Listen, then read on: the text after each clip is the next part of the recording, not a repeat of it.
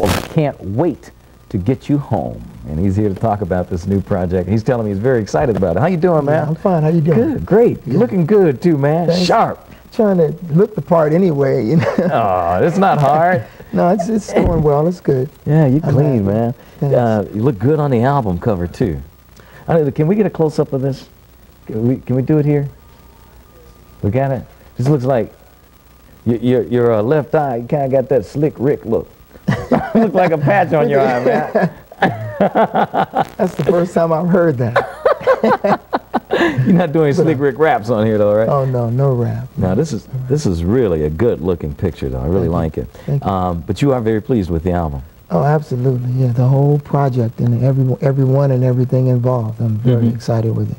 Did you work with some of the same people you worked with last time? No, every- uh, only only one person, uh, Greg Ware and John Lundy. Mhm. They did Hard Up, Mhm. um, and they did a, an up tempo song on the album called Doing It. Mhm.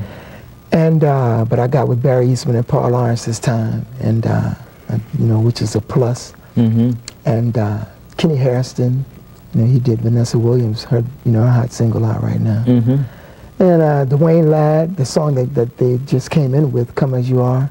Mhm. Yeah, a lot of a lot of great cats, you know, worked on this project. We all meshed together, Yeah. come up with a hit. So did you come in the same direction as the last album, or are you trying to do something different this time? Um, pretty much in the in the same direction, just Mm-hmm. um, on another plane, I guess I would say. More with the, you know, I stuck with the love stuff, Mhm. Yeah, but it's stronger lyrically and melodically, and definitely emotionally, you know. hmm Well, yeah, I was reading that that uh, you were you were talking about how um, when people saw you perform, a lot of times they would Right. say that After the that's show. not the same thing I heard on the record. You know, Yeah. it's like so much more emotion, Yeah. but you kind of held back on the album. Yeah, because you know how it is singing every night, and I didn't I didn't know how I would be every night performing. Mhm. So um, and this this was it was my first venture, so I wanted to do well every night. I didn't want my voice breaking up and that kind of thing. Mhm. So uh, going out every night, singing every night, um, my voice got stronger. I learned some technique in, in performing. I learned how to pace myself. Mhm. And uh, on this album, well, um, what I promised to do was to show that emotion, show that strength, that power, you know, all that stuff. And that's the uh, the one objective that I was able to serve, you know, on this project. hmm Why Yeah. didn't you the first time around? Were you, were you afraid to, or was it the producers holding yeah, you well, back? Or? it wasn't the producers. It was just a, a, a lot of it was just me learning how to sing in the studio. Oh, I see.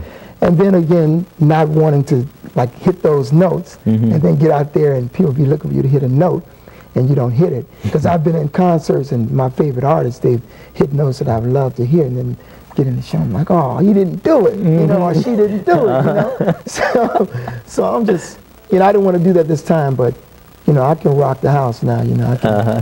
I can do it every night, I'm sure.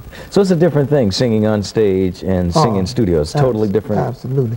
I mean, you have to do a lot of acting in the studio Mhm. in terms of you have to pretend that somebody's that there's Hmm. an audience there. Mhm. At least that's the way I get I get through with it. And I really get into the song. You know, I can't I can't do material that I don't believe in. So you know, first off, I do believe in the material that I do, and when I get in there, the directors, I just give them, the producers, I'm sorry, they, I just give them full control. Mhm. And, uh, you know, I, I like to say for the record, Barry Eastmond Mm-hmm. was a tyrant. You know, he dogged me. Did he really? he was he was the worst. You know, he and Paul Laurence. You know, they were, they worked me good. Everybody else, they they were they were, they worked me, but Paul, um, Barry and Paul, they really did a number on me. So I take it that was good. I mean, you seem pretty happy about it. It's Yeah, like you know, I needed to be pushed like that. yeah, it, it was good. I mean, it, I didn't break down. I mean, because I, I like to work hard. I mean, this is all I do in my life. So, Mhm. you know, I mean, all I have to do is go in there and sing. I have eight, nine, 24 hours to do it and to get it right. Yeah. And even if I get it right, it's like, all right, you know, we're going to go for another pass. So, you ready? so, So how do you feel Yeah, it about that? good. I mean, when you think you you've got it, that that was it, they say, well, let's go through it again. Want to do it again? I just, you know, I asked him, you know, we have another track. You know, did you save that? Uh-huh. Well, you know, I'll go for it. Yeah. You know, if I know that I've done a really good job, then um, and even they want to do it again, because I may have said a word wrong, I may not have phrased something right. Right. Right. And um, the attitude has to be exact, you know, for it. It's just the, like the mood, the mood of the song. I try to play with the words when I sing, Mhm. uh, like feeling, like you know, a word like feeling. It has to be sang with feeling, you know, Yeah. that kind of thing. Uh-huh. So I, I do things like that when I'm in the studio, and if the producer feels like I didn't emphasize a word enough, he may like the uh, the line, but that word wasn't right. So Eric, we're gonna go to another track. Let's get this song. Let's get this word right. You know? Yeah.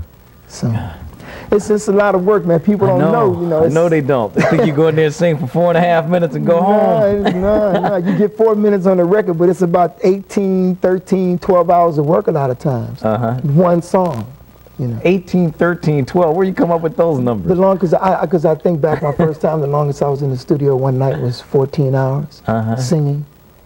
And I had uh, two. You're really confusing me. Two Wait, half you went 18, breaks. 13, 12. Now you're I'm saying 14. one, one time, I'm just saying like a lot of people are in there that long. They have Uh-huh. 24 hour sessions, you know, lockout sessions. Yeah. So it could be 18 hours or 13 hours or 10 hours or whatever, Okay. however long it takes.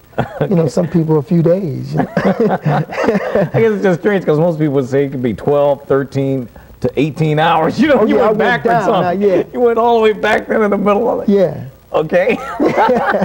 went backwards. but I get the message. Yeah. We want to check out the first video from the album. Yeah, okay. Uh, can't wait to get you home. yeah, that's the new message. The new message. Yeah. Check it out. Eric Gable. This is a world premiere. First time shown anywhere in the world, right here on Video Soul.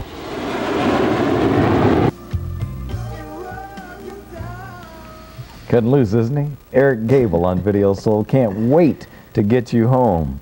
You better be careful. That's Nino's girl, man. Uh, From New Jack City. she's my girl now. Nino don't play that, man. Nino's dead. Oh, that's right. She's okay. You can have her. yeah, yeah. it's okay. But By that is her. What's her name? Michael Michele. Yeah. Yeah. Yeah, you worked with her before Yeah, in your first video. She did the uh, Remember the First Time and the Hard Up video with me, and um, then she went on to bigger things in terms of the movie. But you know, and then came back to hang out with me do another video, Uh-huh. which was very nice of her. You know, I enjoy working with her. Yeah. Yeah, we have a good time together. Uh-huh. How involved in the creative process of video making do you get? Um, I get to look at the, the treatments, and I even give my ideas sometimes, but they don't, you know, they don't always go through with them. Mhm. Um, if I if I see something on the set that I, I want to do, then the director, you know, he'll be gracious enough sometimes to go ahead and try it. Mhm. And um, but um, it- I'll get more creative input as as time goes along. For for certain on my next video, I'll um, I have some ideas uh, for whatever song they release, Mhm. and uh, hopefully it'll um, I'll get some input because for, for remember the first time. Uh, they used some ideas that I had along a lady by the name of Sam Mattingly. She was the publicist at the time at Hush. She and I sat down and we uh, we wrote up the script, and uh, the director, uh, you know, he liked it. And he he had some of the same ideas as well. Mhm. So we kind of like went along with it, and uh, Yeah. everybody liked it. Earlier, you talked about uh, selecting product proje- uh, product for your or, or, or songs Mm-hmm. for your project. Uh, do you actually do that? Do you work with someone, someone in the record company get involved in that? How do you go about selecting songs? Well, um, Bo Huggins, who is the executive producer on the on the album, Mhm. um, they send the songs in. They'll they'll send them to me or they'll send them send them to him, and um, you know he'll call and say, Eric, you know I got a song. I want you to hear it. You know what do you think? And um, you know, I'll be like, yeah, you know. And most of these songs that, that he came up with this time, it was no like second guessing them. Only maybe one, but we got we got it. Once it was an up tempo song, and I was like kind of like I don't know, man, you know. Mhm. But um, once I once I learned the song, then I was you know it, it came to it all Yeah. came together. But um, I have creative input in, in that area as well, and just in terms of what I like, you know. If Yeah. They let me know if I don't like it, you know, don't try to do it. You know. You, you don't write? Well, I didn't get to write for this one, but I, I've started writing for my third project. You know, Mhm. that's the only objective that I didn't serve for this album. I didn't get to co-produce, and I didn't get to write. Ah. But trust me, you know, because I'm about the business, you know, Mhm. and um, I want to get that publishing thing down. So when I when I when it, that hiatus that I was in, Yeah, right. and making those withdrawals and no deposits, you know, I can uh, I can kind of get over that, you know. so that's for the next project. You will Yeah, be definitely, yeah, co-producing and yeah. writing some. And, and my management company, they're urging me to do that as well. They want Mhm. me to, to be more business minded in that area. Yeah. Yeah, well, well good su- luck to you, sure. man. Yeah, thanks. Good luck with the new album. It's in the record stores today, as a matter of fact. yeah, we- what is a hot day in the stores? We got Prince, Prince. dropping today, Public Enemy, Eric Gable, I think Patty. Patty's today too. I think so. Wow. Yeah. wow. That's right. Patty and Prince go hand in hand nowadays, right? Yeah. this is the way it looked on Arsenio. Yeah, right. Yeah. Wow. So it is an exciting day. Well, Eric Gable is also in the record stores. His brand new CD, so stop in and check it out. Yeah. Thanks for joining us today, man. Thanks I appreciate for having it. me, man. I'm glad, and I want to thank you for keeping me alive too. You know, while I was out. Well, thanks. what did I do? So, uh, you know, viewing video, So, you know, I want. I just like to thank everybody for the time that I was away for playing the video because uh, that was one thing that kept me alive and kept Mm-hmm. on mind, kept me on the minds of the public, and I, Yeah. I appreciate it greatly. Yeah, well, we appreciate Yeah. good product from you, man. well, I'm telling you, you do yeah. some, you do great work. Thank you. And we appreciate it. Thank. Continued success to you. Thank you. All right, Eric Gable, again, our guest today on Video Soul. I'm Donnie Simpson. Don't go away. We'll be back in just a couple of minutes.